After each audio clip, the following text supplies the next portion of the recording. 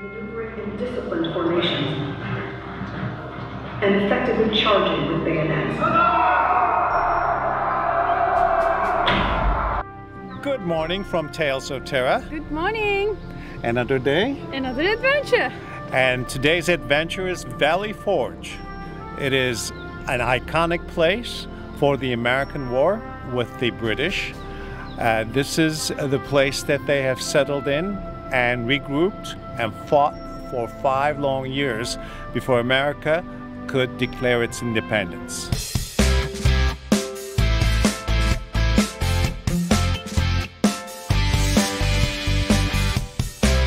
What happened here at Valley Forge? On April 19, 1775, in Lexington and Concord, Massachusetts, civilian soldiers banded together to battle and oppose British tyranny and oppressive rule.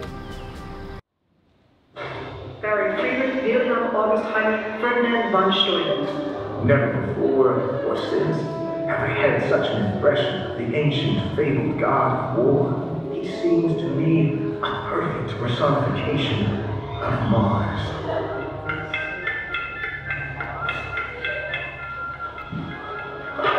Von Steuben's impression of the Continental Army is not favorable.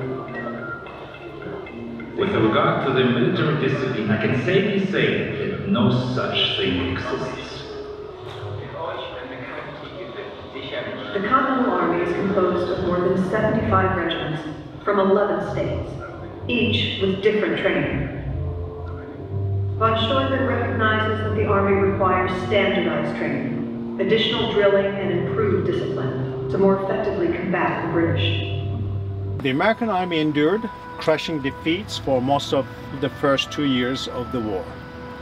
Soldiers, women, and children of all ages, fatigued from recent battles, marched into Valley Forge on December 19, 1777. The encampment at Valley Forge offers much needed time for the army to regroup and train during the winter of 1777 and 78. But the future survival of the Continental Army is uncertain. Soldiers lacked proper clothing, had little food, and endured widespread diseases. Smallpox also plagued the Continental Army, killing one-third of those infected. Smallpox is more destructive to an army in a natural way than the enemy's sword. Washington orders inoculations against smallpox. It is one of the first mass immunization programs in history. Its success fortifies the Army for the remainder of the war. Following a long, difficult campaign, the army arrived at Valley Forge on December 19, 1777. The Continental Army faced these challenges with a tenacity and determination that remain familiar American values we know today. General George Washington and Inspector General Frederick Wilhelm von Steuben transformed the disparate group of soldiers that marched into Valley Forge into a united force. We say to our soldiers, do this, and he does it. But I am obliged to say to the American, this is the reason why you ought to do that, and then he does it. Translators carefully record each drill. Von Steuben later publishes his drills and standardized training in a manual known as the Blue Book. Soon, the Army is executing drills with precision, loading and firing muskets, maneuvering in disciplined formations, and effectively charging with bayonets. The Continental Army continued to overcome challenges in the final years of the Revolutionary War. The war raged on for another five years and the army prepared by experiences at Valley Forge endured another five encampments. The siege at Yorktown in late September 1781 marked the beginning of the end of the British troops. as the Continental Army forced the surrender of General Cornwallis and his 8,000 troops, Britain and United States signed a final peace treaty in Paris on September 3, 1783. After eight years, the United States claimed its independence and the world witnessed the birth of a new nation. So that's why it is very important to know the American history and it is all started here. And this is not too far away from Washington DC and it's not that far away from New York, it's not that far away from uh, the East Coast. As we walk around, we will see the remnants of tools that the medics and the doctors had treated uh, and wounded soldiers. I've been here approximately 30 years ago, uh, but I still remember the scenes vividly. The saws and cutting knives and etc. Let's see what we will find along our route.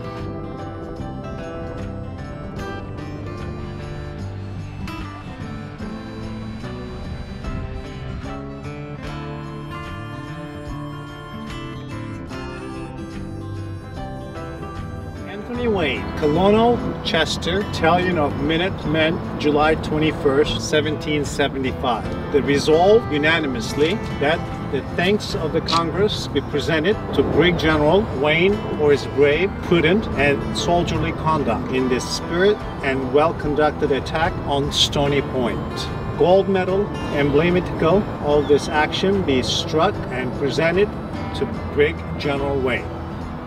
Major General and Commander-in-Chief United States Army, March 5th, 1792.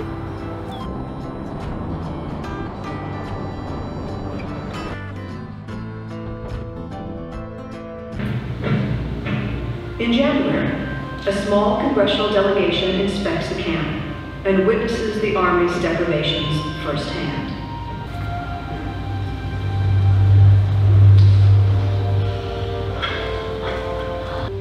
Some in Congress have labeled Washington a tyrant and have questioned his ability to command. The visiting delegation finds Washington to be a calm, decisive leader. Ultimately, Congress supports Washington's requests and adopts his recommendations, including the appointment of Nathaniel Greene as the new Quartermaster General. Greene immediately begins increasing deliveries of food and equipment to camp. George Washington reorganized the medical system, calling for the construction of a permanent hospital. The Yellow Springs Hospital played a key role in this legacy.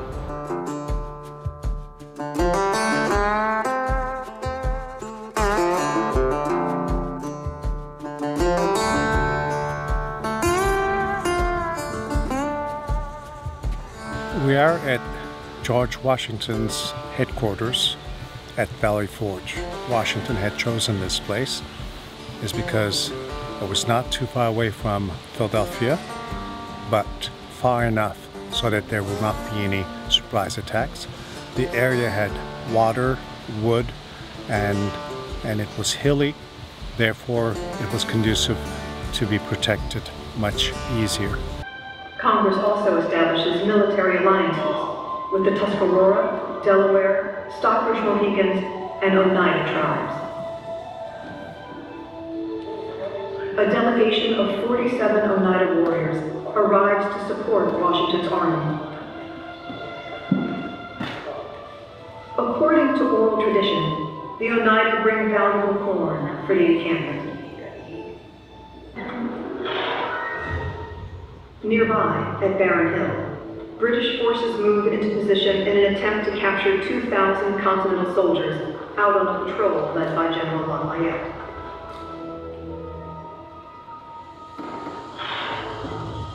To allow time for the Continentals to escape, Oneida warriors and French volunteers ambush the British.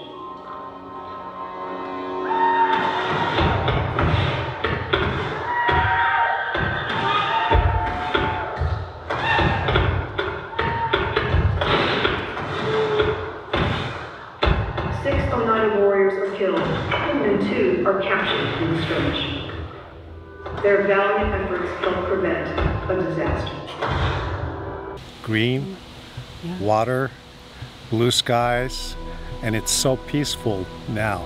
I cannot imagine in 1700s where people were suffering and fighting for their independence. Yeah, no independence come free. Oh Though- no, that Yeah. All the nations on earth who claim to be free and sovereign have paid the price. Who owned and lived in the building when Washington arrived? So the rock house that we're going to visit a moment later is the house that was not built for Washington. It was here before he arrived. The house was built for Isaac Potts, an iron master who was one of the owner of the Valley Forge. At that time of the winter uh, encampment in 1777, he was not living there, but had rented it to its aunt, Deborah Hewes. This was a relatively new dwelling, built sometimes between 1768 and 1770. General Washington felt strongly that the American Army should hold themselves to a high standard. Unlike the common European practice, the American military general did not forcibly seize property. The Continental Army paid Isaac Pot 100 pounds in Pennsylvania currency for the use of the house. Relative to the times, this was probably a fair amount. Just upstream is the site of the Valley Forge, for which this area was named. The Continental Army used the forge to store foods and weapons. Three months before the winter encampment, the British swept through on September 18, 1777, and burnt the forge and the other buildings. General Washington, his army, and its followers faced five more years of war and even harsher winter encampment. My heart bled at the recital of their sufferings the past winter. Exalted virtue and patriotism, and the strong attachment of the officers to General Washington only, held the army together. Okay, so you're at Washington's headquarters. So the house really is the house. We're looking at maybe 70 to 80% encampment era. So it, it is the real McCoy. Furnishings, most of it is reproduction. Um, right now, we only have the first floor open, so you can see the aides office. That's where folks like Alexander Hamilton, John Laurens, Tench Tilghman, James, er, um, McHenry, um, they all worked in that office, and then Washington worked in the back office. to have been here during the encampment, and they were probably about yay The big. Americans of the Revolutionary era looked to ancient Rome and Greece as models of Republican ideals. This statue, of bronze copy of the original marble, which, which has stood in the rotunda of the Virginia State Capitol since 1796, includes both classical and also American symbols that would have been familiar to Americans of the time. George Washington is depicted as a modern Cincinnatus, the Roman farmer and general who left his farm to save the Roman Republic and then voluntarily returned to his plot. The father of our country wears his military uniform but carries a civilian walking stick rather than his sword, which has been set aside. The stand by a farmer's plowshare, a symbol of his love of peace and agriculture. He rests his hand on a bundle of rods called a fasces, a Roman symbol of civil authority. Here, the 13th rod represents the joining of the original states and the strength gained from that unity.